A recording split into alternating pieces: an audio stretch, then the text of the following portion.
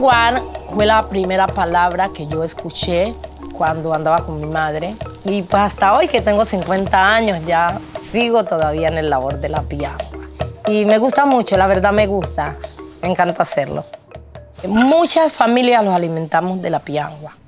En mi caso, yo soy viuda, mi esposo hace dos, va a ser tres años en que murió y pues desde que él murió he estado totalmente alimentándome de la piangua. Gracias a Dios y la piangua primeramente he estado allí. Avanzando los años ha habido una unión entre las mujeres sobre la piangua. Entonces pues ahorita tenemos un comité de piangüera, Hacemos reuniones solo de mujeres piangüeras. En los manglares es donde se reproduce la piangua y allá es donde nosotros vamos a traer la piangua. Nosotros antes lo sacábamos, yo me sacaba 100 docenas, 130 docenas, hoy me saco 30 o cuando mucho, cuando hay, me saco 50 docenas, de ahí para abajo.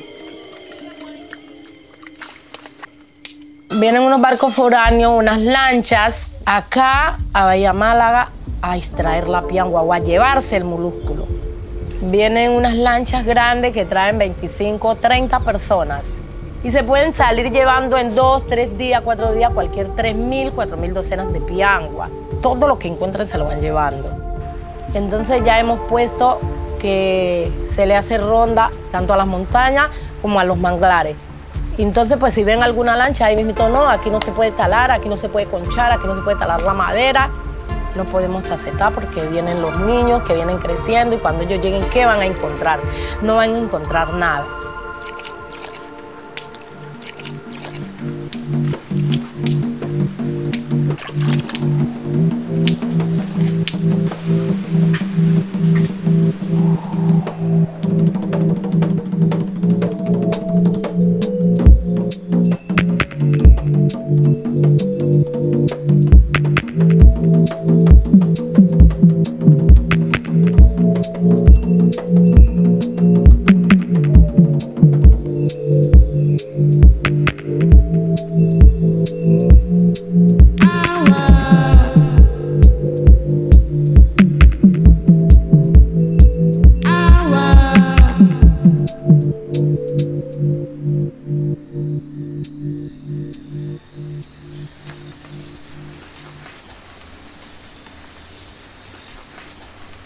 el Chocó biogeográfico como tal, desde Chocó hasta Nariño, pues una de las zonas con mayor biodiversidad del planeta.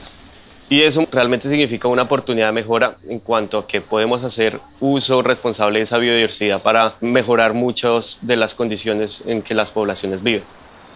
Entonces, yo lo que considero es que el Chocó biogeográfico debe ser una prioridad en, términos no solo de biodiversidad, sino también del uso de esa biodiversidad para solucionar problemas a futuro.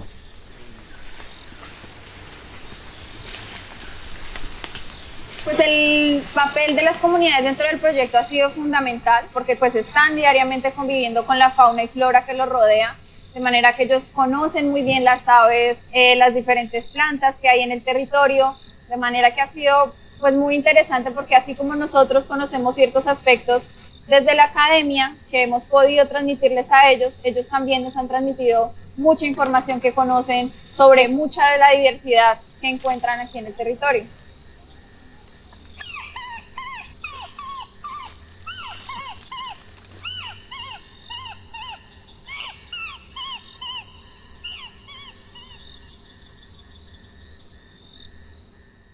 Es fundamental la unión, porque ellos son científicos permanentemente, ¿sí? Para mí la ciencia es la capacidad de, observar, ¿sí? Cualquier persona que tenga un pensamiento crítico y una capacidad profunda de observación, pues es un científico estudio o no haya estudiado. Y ellos pues tienen esa relación directa con la naturaleza y les toca todos los días estar pendiente de ella, obviamente con un interés muy distinto al nuestro, pero de todas maneras están pendientes permanentemente.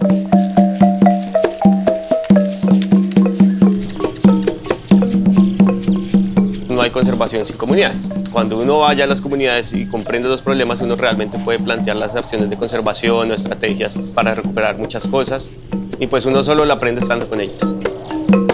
Por acá comúnmente le llamamos el gualalá, por su forma pues que a veces el canto es como todo enredado, entonces por eso la, la mayoría de las personas le llamamos el gualalá. Ellos como que tienen esa visión ah, de, de uso o de lo que es más cercano a ellos, entonces digamos que ampliarles ese conocimiento de toda la diversidad que realmente ellos tienen en su territorio, pues refuerza enormemente el sentido de pertenencia que ellos tienen por sus propias cosas y pues obviamente va a aumentar el, sentido de conservación que ellos tienen hacia su territorio también. La luna está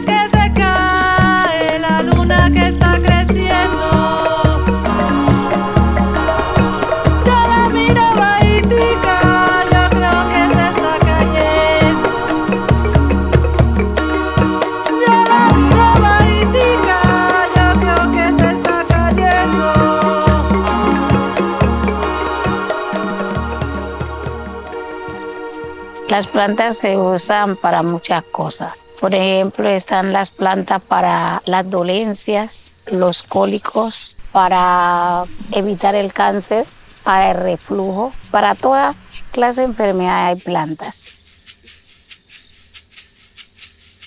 que hay dolores que uno los puede calmar en la casa y no inundar las clínicas. Con esto no estoy diciendo que la gente no busque a los médicos, sí, pero hay cosas que sí se pueden curar en la casa, teniendo en cuenta que la madre naturaleza nos da todo lo que nosotros necesitamos.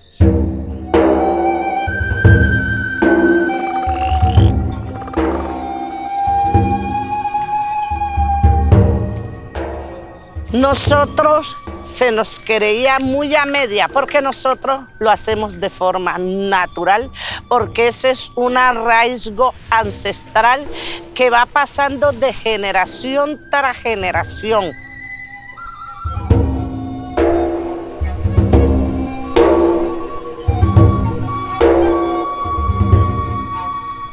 Los mayores son una universidad ambulante, que todo ese conocimiento se está diendo a la tierra y no está quedando semilla para seguir con la cultura.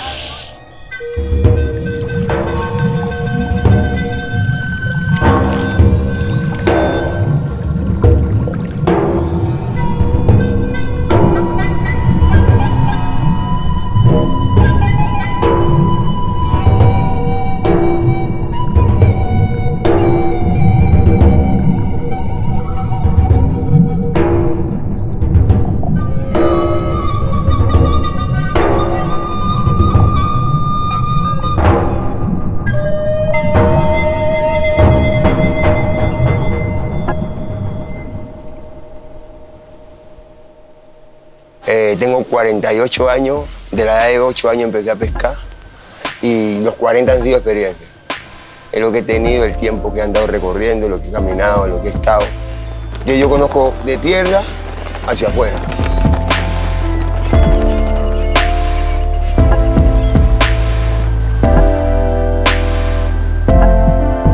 Nosotros pescamos con malla y con cabo.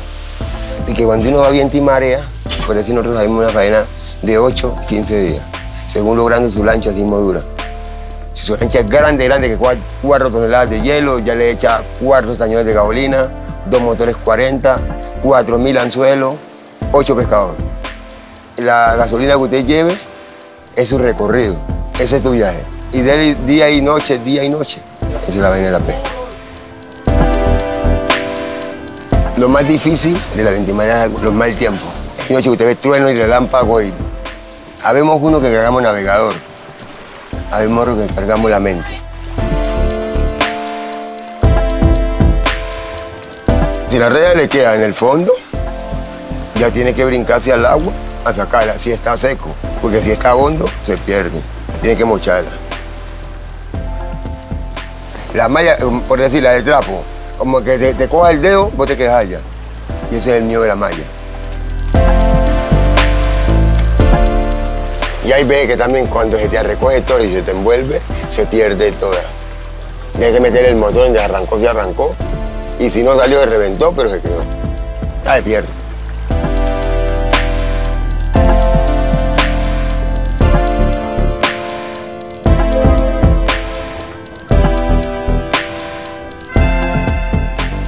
siento que tal vez ese sistema que se implanta desde las ciudades a las regiones transgiversa un poco las cosas. A veces la gente en las comunidades está aspirando a vivir como vive la gente en la ciudad porque es lo que ven en las noticias y no se dan cuenta de, en realidad de lo que estamos o lo que ellos están perdiendo y lo que ya hemos perdido en la ciudad.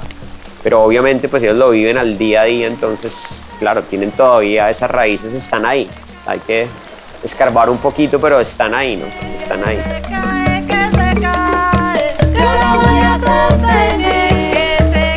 Pero es muy importante darle la importancia a la naturaleza para que los jóvenes puedan transmitir ese conocimiento de generación en generación. Cuando uno comienza a conocer toda esta riqueza natural, la riqueza cultural y uno se empapa de todo esto, pues comienza a valorar y entender realmente por qué las soluciones que a veces pensamos desde la capital del país o desde otros países, pues no funcionan. Entonces uno tiene que articularse con el territorio, no es que diga me voy a ser parte de él, pero sí me puedo engranar con él. Y cuando yo puedo llegar a ser parte de ese tejido conjunto, pues puedo construir territorio, puedo conservar, puedo producir mejor y lo más importante que es tejer paz entre todos. ¿no?